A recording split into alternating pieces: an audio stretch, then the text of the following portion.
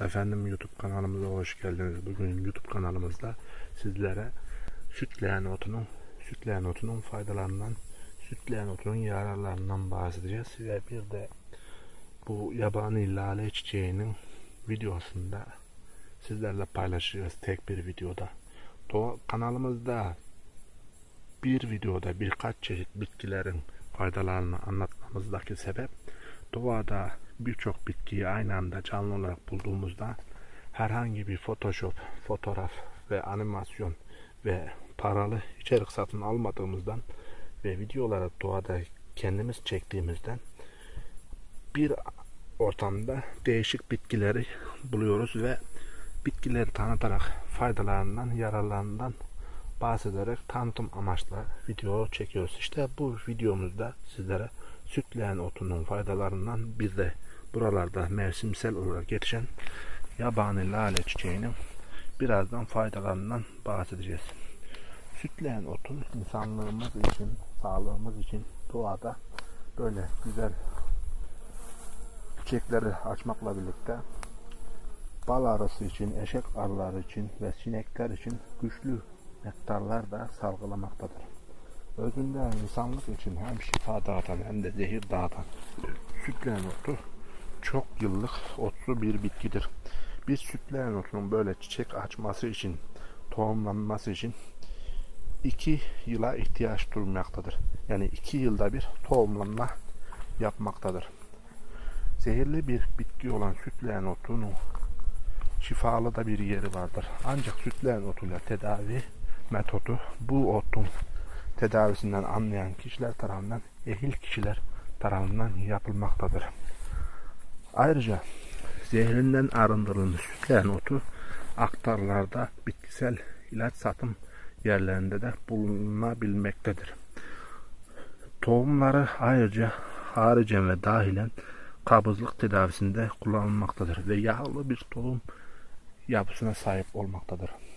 İnsanlığın var olduğu ilkinden bugüne sütleyen otuyla da atalarımız balık da avladığı için bu sütleyen otunun böyle bir tane dalını kırdığımızda özünden bir ineğin sütü gibi şarıl şarıl süt aktığından bu özündeki zehirli kimyasal sıvı balık tutma için de kullanılmaktadır. Böyle sütleyen otunun, otunun dallarını kırarak bir satırla tahra ile kıyarak bir çuvala doldurarak küçük dere ve ırmak kenarlarında bu çuvala kıydığımız sütleyen otlarını suya ıslayarak bu süt gibi maddenin suya erişmesini sağlamakta gerekmektedir.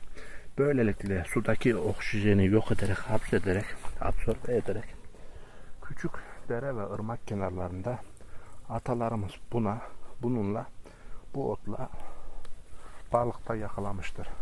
Ancak sütleyen otuyla avlanan balıklar genellikle boğulma yöntemiyle hareketsiz ve oksijensiz kalarak asırlardan beri atalarımız sütleyen otuyla yakaladıkları balığı güvenle tüketmişlerdir.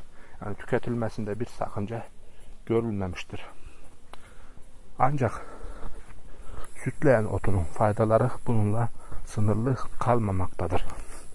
El ve ayak mantarları tedavisinde çeşitli mantar ilaçlarına göre sütleyen otunun özünden bulunan bileşenler el ve ayak mantarları ilaçlarına göre çok daha etkili olmaktadır ve bu nedenle iyi yönde sonuçlar alınmıştır. Nasır tedavisinde de kullanılan sütleyen otunun özündeki o süt gibi madde haricen el ve ayaklarda bulunan nasır tedavisinde kaşıntı, uyuz vesaire cilt hastalıklarında kullanılmaktadır. Ayrıca iyi bir panzehir de olan sütleyen otu böylelikle zehirli böcek sokmalarında yılan, akrep, çiyan, bal arısı, örümcek gibi zehirli böcek sokmalarında doğada eğer böyle bir böceğin Allah korusun sokması karşı neticesinde bu sütleyen otunu ilk yardım gelene kadar, tıbbi yardım gelene kadar hemen böceğin soktuğu yere bu sütleyen otunun sütünü damlatılarak bir bir ilk yardım olarak uygulanmaktadır. Ayrıca kuduz hastalığına yakalanmış kuduz mikrobu taşıyan bir hayvanın ısırması sonucu eğer o hayvanın kuduz yaş, mikrobu taşıdığından şüpheleniyorsak sütlen otunu hemen hayvanın ısırdığı bölgeye yaralı kişiye sütlen otunun sütü damlatılarak bir dezenfekte pansuman edilerek zehirli böcek sokmalarına karşı panzehir olarak kullanılmaktadır.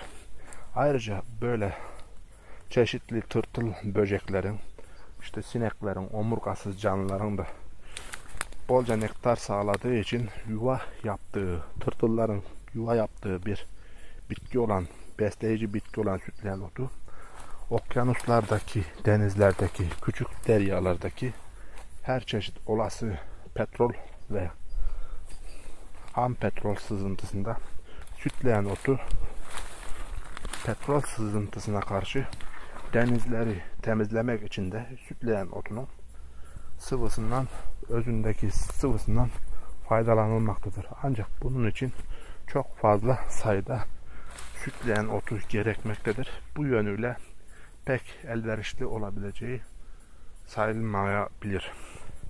Ve sütleyen otunun faydaları genellikle haricen olmaktadır.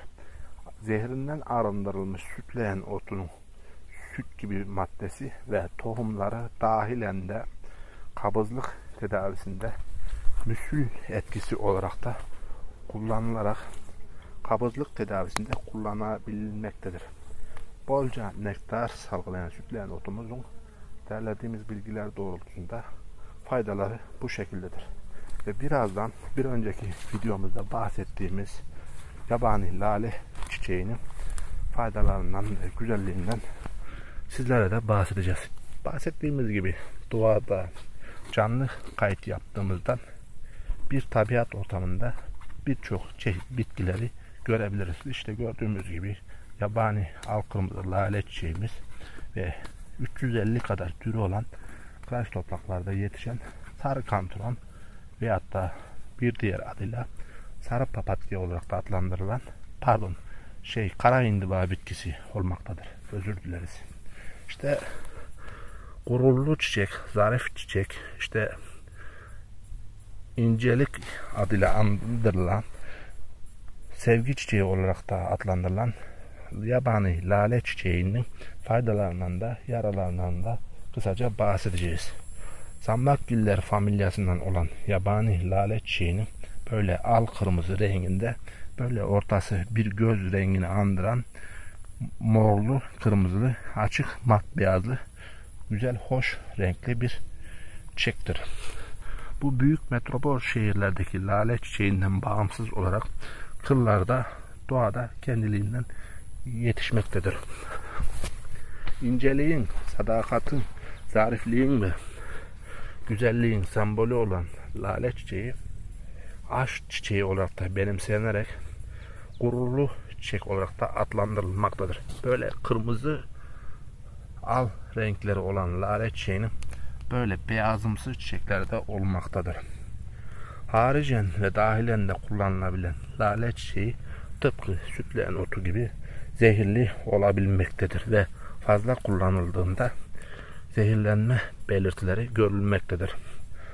Lale çiçeğinin faydaları, gururlu çiçeğin faydaları genel olarak süt bitkisi olmakla birlikte kız arkadaşımıza, sevdiklerimize, eşimize, dostumuza o özel günlerde mesela sevgi günlerinde anne gün, anneler gününde, babalar gününde, işte sevgililer günündeki vesaire günlerde bir demet lale çiçeğini sev, sevdiklerimize hediye ederek, ederek onların sevgisini kazanabiliriz.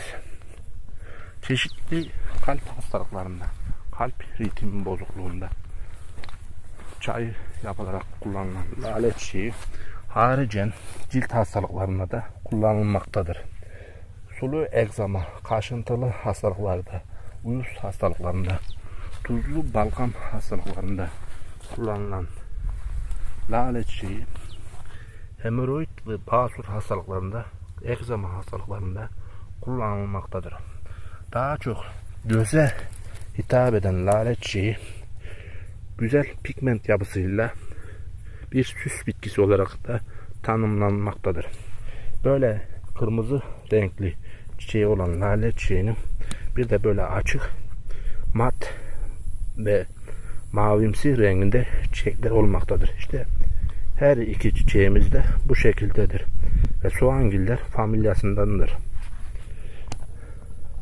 Sanırım kameramızın hafıza kartı doldu ve biraz videomuzda duraklama olmaya başladı. Akdeniz bölgesinde böyle havalar, güneş ışınları çok dik olduğu için ve parlak olduğu için bu bitkilerimizin öz rengi biraz sarıntıya dönebilmektedir. İşte gururlu çiçekten, sütleyen otundan, faydalarından, yararlarından bahsettiğimiz bu videoyu doğada canlı olarak çekmekteyiz. Ancak bazı kişiler bu lale çiçeğini, yabani lale çiçeğini gelincik çiçeğiyle karıştırabilmektedir. Gelincik çiçeği farklı bir bitkidir. Lale çiçeği farklı bir bitkidir. Bizi seyrettiğiniz için, beni dinlediğiniz için her ne kadar videomuzda, anlatımlarımızda da eksiklik olduysa bizi dinlediğiniz için teşekkür eder. İyi günler dileriz. Yeni bir videoda görüşmek dileğiyle. Hoşçakalın.